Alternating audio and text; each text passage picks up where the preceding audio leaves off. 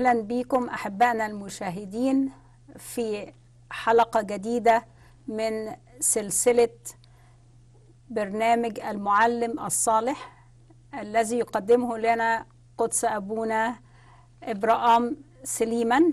أهلا بك يا قدس أبونا. أهلا بيكي إزيك يا دكتورة؟ أهلا بك. تشكر خالص. آه، إحنا نعرف قدس أبونا إبراهام سلي... آه، سليمان أو سلم راعي كنيسة القديس ماري مرقس الرسول في مدينة نيو جيرسي أو جيرسي سيتي في نيو جيرسي الولايات المتحدة. الحقيقة قدس أبونا إبراهام آه، سليمان بيقدم لنا سلسلة من عدة حلقات عن المعلم الصالح وإحنا في المجموعة بتاعة أمثال الرب يسوع المسيح الخاصة بملكوت السماوات. وكنا في حلقات السابقة اتكلمنا عن مثالين هو مثال الكنز المخفى اللي ذكروا الرب يسوع في آية واحدة إن واحد كان بيعمل في الحقل ولقى الكنز فخباه وراح باع كل اللي ليه واشترى الحقل عشان يبقى الكنز ليه هو. والمثل اللي تلاه على طول عبارة عن آيتين. هو كان مثل التاجر اللي عارف هو بيدور على إيه وفضل يجاهد ويسافر ويبحث عن لؤلؤة تستاهل إنه يشتريها مقابل كل حاجة في حياته. فلما لقاها اللؤلؤة ثمينة الثمن راح باع كل اللي اشتراه قبل كده وكل اللي يملكه عشان يقتنيها. وقدس ابونا ربط لنا بين المثلين إن ملكوت الله يستاهل إن إحنا كل دقيقة وكل عطايا الله وكل مواهب الله لينا نستعملها علشان نقتني هذا الكنز العظيم. وكنت آخر سؤال سألته لأتسابونا بكرره تاني يا هم تجار وراحوا اشتروا وباعوا فقدسك قلت لي لكن السيد المسيح بموته على الصليب دفع الثمن اللي ما كانش ممكن العالم كله يقرب حتى من من ثمن الملكوت دفع بدمه الطاهر ثمن الملكوت وإن هو مستعد يديهولنا بس يكون لنا استعداد إن إحنا نقبله ونعمل الجزء البسيط اللي علينا. وأنا فاكرة آخر مثال قدسك ذكرته وتكمل لنا عليه إن لو الله بيدينا حاجة لازم على الأقل نفتح إيدينا ونفضيها من مشاكل ومن شهوات العالم علشان يبقى فيها مكان نستقبل بيها الجوهرة آه، أو اللؤلؤة كثيرة الثمن.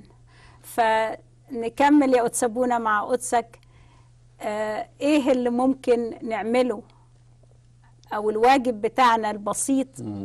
عشان نأخذ هذه العطية العظيمة اللي هي ملكوت السماوات. اولا أنا أشكرك إن حضرتك يعني لخصت الموضوع تل- تلخيص رائع يعني. آه ووصلتنا للنقطة ال- اللي أنا حاب- حاسس إن هي مهمة جدا لازم ننتبه ليها وكويس إن إحنا ناخدها في حلقة لوحديها يعني. لأن إحنا لما نبص للمثالين آه أكيد الراجل اللي لقى الكنز ده لما باع كل حاجة واشترى الأرض ما قالش إن جواه كنز. آه. لأنه لو قال جواه كنز يمكن أصحاب الأرض قالوا ما- مش هنبيع لك. آه عشان كده قال خبأه. آه, آه فخبأه. يبقى مع كده هو عارف إن هو بيقدم حاجة بسيطة مقابل حاجة آه. هو عارفها أكتر قيمة بكثير جدا. فهو يعني ريم يعني بتخيل إن هو راح اشترى حتة الأرض تساوي مثلا مئة ألف دولار ولا حاجة. شكل باينها آه، من بره مش آه اللي جواها مئة ألف دولار كده فقال لصاحب البتاع أنا هاخدها بمية وخمسين ألف دولار عشان يخلصها. لكن في الواقع هو عنده كنز جوه بملايين الدولارات. آه. فهكذا ملكوت الله قيمته وعظمته لا تقدر بثمن طبعا مع الفارق يعني. فاللي بنقدمه دي حاجة بسيطة. بس لازم هنعمل حاجة. لازم هنعمل حاجة. لأن هو في مثل الكنز الراجل باع واشترى الأرض في مثل اللؤلؤة الراجل باع كل اللي عنده واشترى اللؤلؤة ثمينة الثمن فمن ناحية اكتشاف الكنز اللي هو اكتشاف ملكوت الله واكتشاف معرفة المسيح والشبع بالمسيح وعمل الروح القدس في الإنسان كل دي عطايا مجانية. مم. وروح الاستعلان عطية مجانية. الحياة الأبدية عطية مجانية. آه، الدليل على كده في رومية ستة لما ذكرت الم- المرة اللي فاتت يقول هبة الله هي حياة أبدية بالمسيح يسوع ربنا. وفي أفسس واحد بولس الرسول يقول أنا بصلي كي يعطيكم إله ربنا يسوع المسيح أبو المجد روح الحكمة والإعلان في معرفته. فدي جاية عطية من الله. إن هو الآب السماوي يدينا روح الحكمة والإعلان في معرفة المسيح. أنا ما أقدرش أشتريها. ما دي هبة منه. لغاية دلوقتي دي هبة منه. ما فيش حاجة أنا هشتريها. مستنير عيون أذهانكم لتعلموا ما هو رجاء دعوته وما هو غنى مجد ميراثه في القديسين. فهنا برضو استنارة عيون الذهن ومعرفة إيه رجاء الدعوة الإلهية ومعرفة إيه هو غنى مجد ميراثنا في القديسين. كل دي عمل نعمة وعمل نعمة مجاني. لكن يجي المهم بقى إزاي أقبله؟ آه. إزاي؟ كلمة إزاي اقبله اللي إحنا بنقولها بطريقة تانية؟ آه الجهاد الإنساني ووسائط النعمة. وسائط النعمة يعني التشانلز أو القنوات اللي أنا آه من خلالها باخد النعمة. آه. فشراء الملكوت هنا معناه قبول الهبة المجانية بالإيمان طبعا دي نمرة واحد بالتوبة نمرة اتنين بالمعمودية نمرة تلاتة بوساطة الخلاص اللي فيها طبعا الأسرار الكنسية آه، اللي فيها آه، كل الحاجات اللي إحنا آه، نعرفها أو الجهاد الروحي في حياتنا. الصلاة الصوم قراية الإنجيل إلى آخره. في في الكتاب المقدس حاجات بتقول لنا تشرح لنا الموضوع ده. اتفضل. يعني مثلا أفسس 2 8 يقول النعمة أنتم مخلصون بالإيمان ذلك ليس منكم بل هو عطية الله. هنا دور الإيمان. لكن نلاقي في نفس الوقت في كلوس 2 11 13 يقول مدفونين معه في المعمودية التي فيها أقمتم أيضا معه بعمل إيمان الله الذي أقامه من الأموات. يبقى لازم هتدفن مع المسيح. آه. واتدفن في المعمودية. مم. فأنا ما هقدرش أقول آه يا رب أنا مؤمن ما تعمدش آه يعني الآية اللي بتقول آمن بالرب فقط فتخلص أنت وأهل بيتك مم.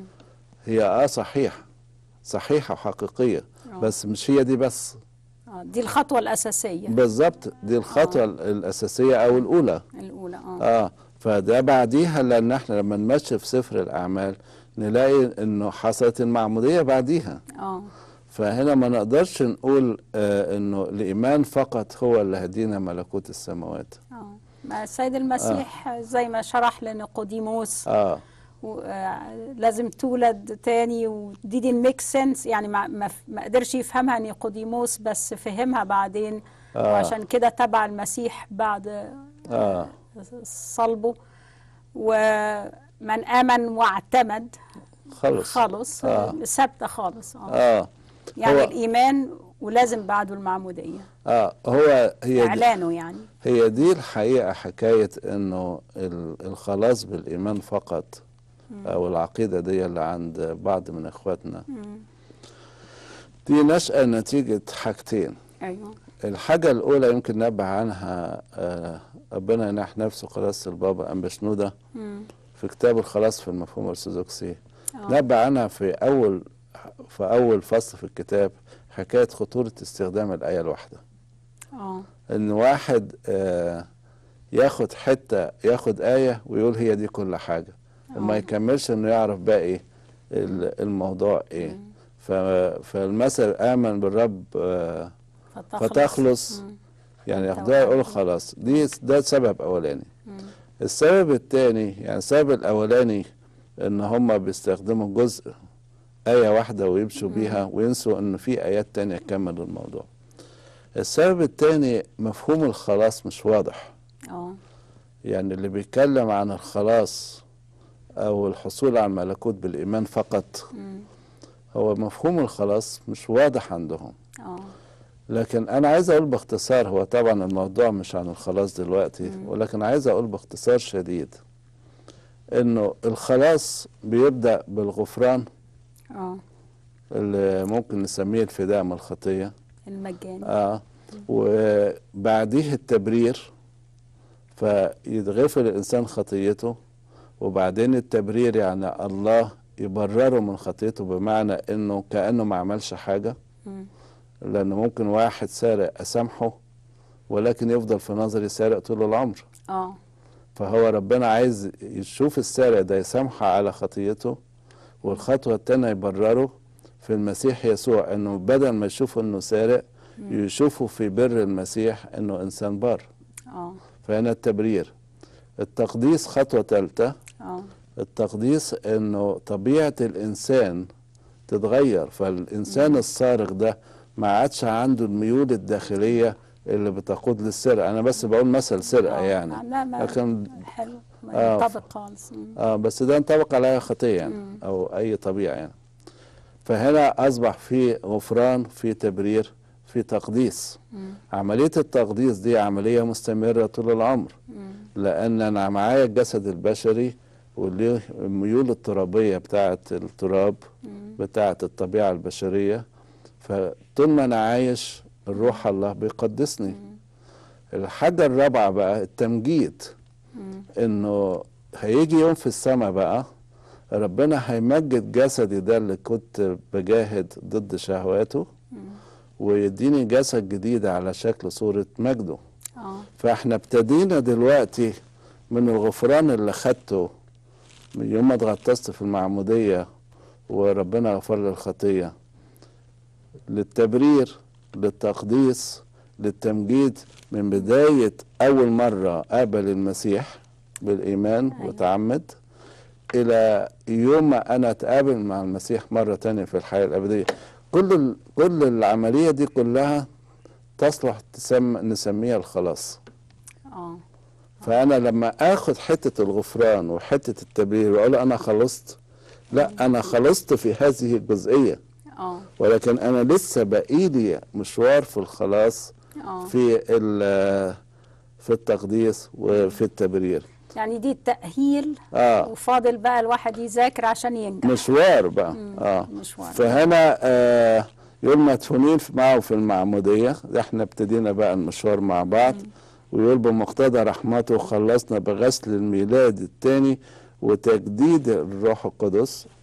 حتى إذا تبررنا بنعمته نصير ورثة ورثة حسب رجاء الحياة الأبدية.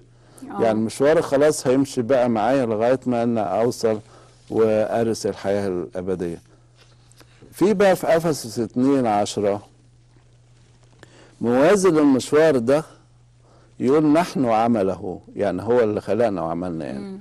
مخلوقين في المسيح يسوع لأعمال صالحة أيوه. قد سبق الله فعدها لكي نسلك فيها.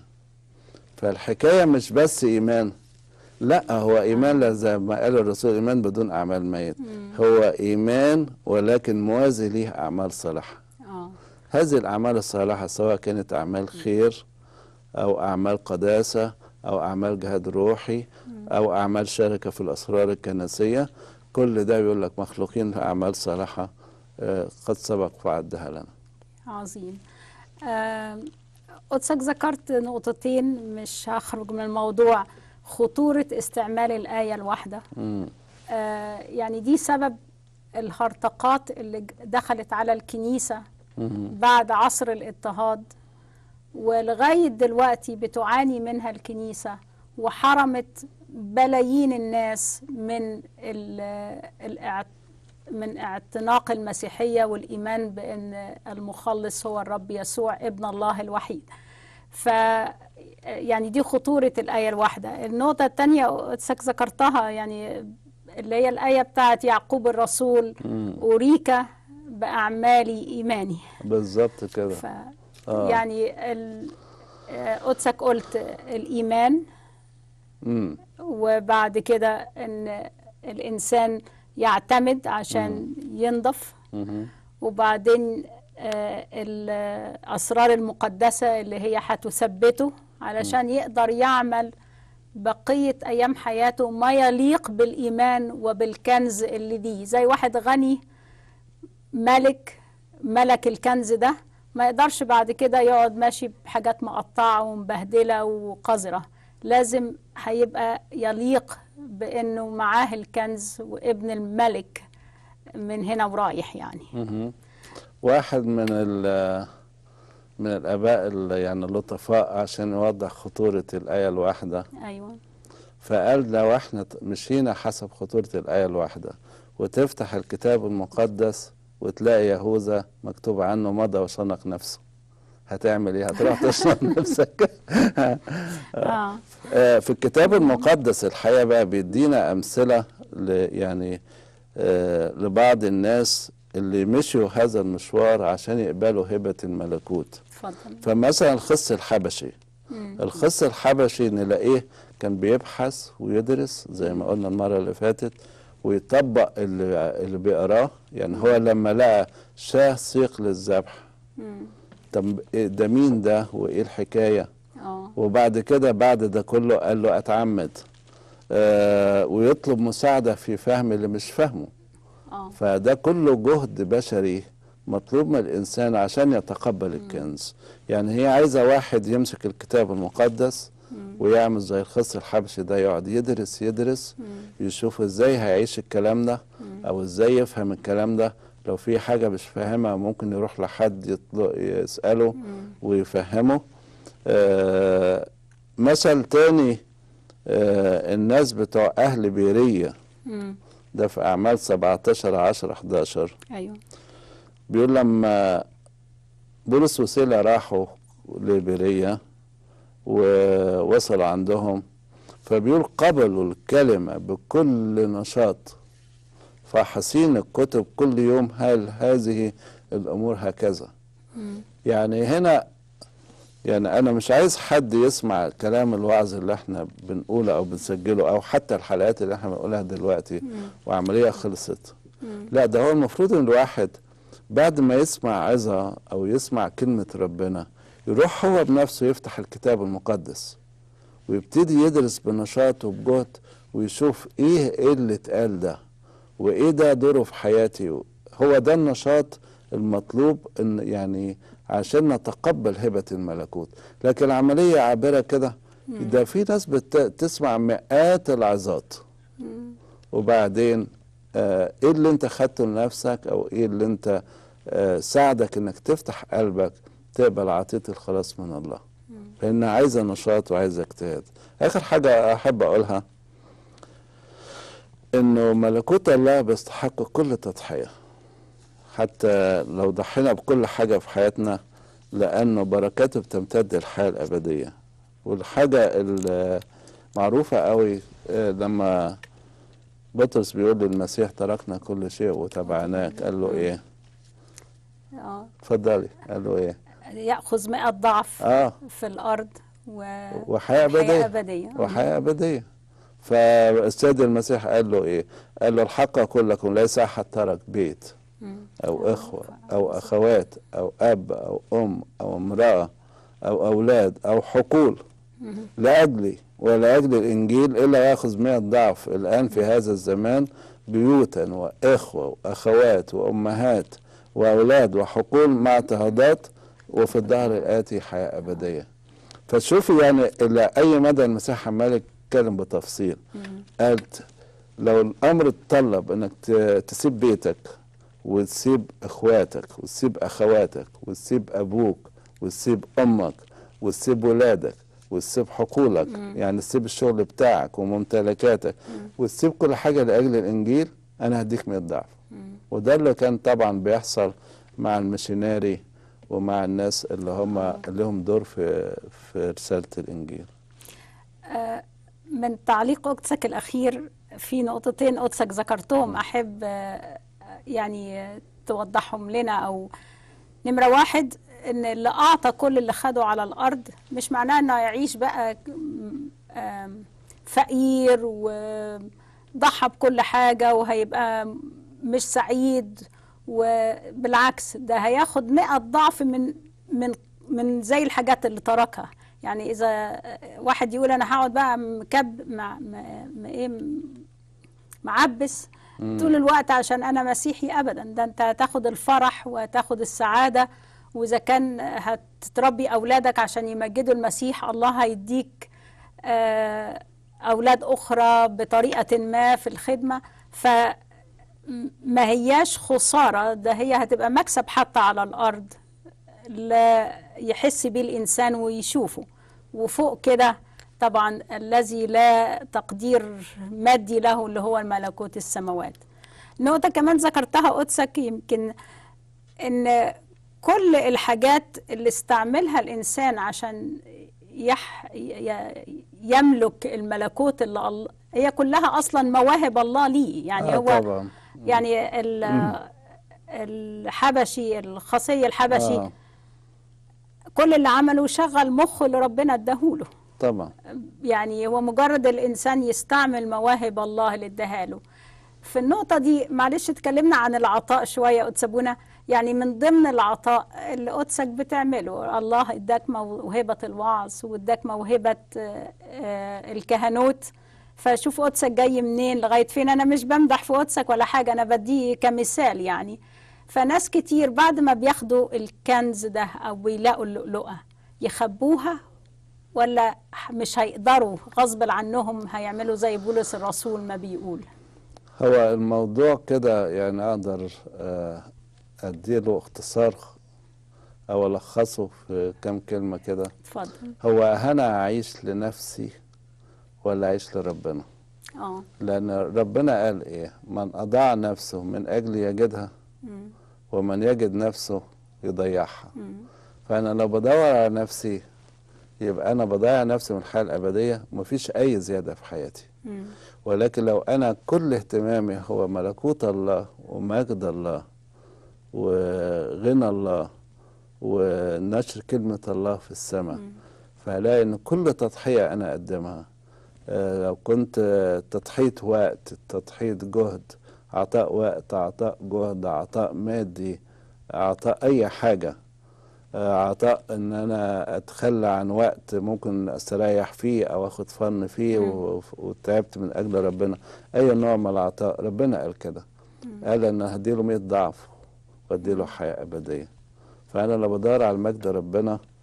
هبيع كل حاجة كلمة هبيع كل حاجة هضحي بكل حاجة عشان أشتري اللؤلؤة دي. طيب بنشكرك خالص يا أتسابونا بنشكركم أحبائنا. أنا آخر واحدة ممكن أكلمكم أو بس بتكلم بدلة لأني فهمت اللي أتسابونا آه قالوا إن من ضمن ملكوت الله إن كل واحد عنده موهبة وذاق ما أطيب الرب ينشرها. سواء بالكلام بالصلوات من أجل البشرية كلها أو بالتعضيد المادي لأي مشروع بيمجد اسم الله إذا كان تعضيد كنيسة تتبنى أو تعضيد آه، آه، فضائية زي اللي إحنا بنتكلم عليها لأن ده كله مساهمة في نشر ملكوت الله واللي داق حلاوة الله مش ممكن هي مش هيعزم على أحبائه بيها. دوق آه، ما أطيب الرب بنشكركم ونتقابل في حلقة أخرى من سلسلة أمثال السيد المسيح آه، كمعلم صالح Thank you.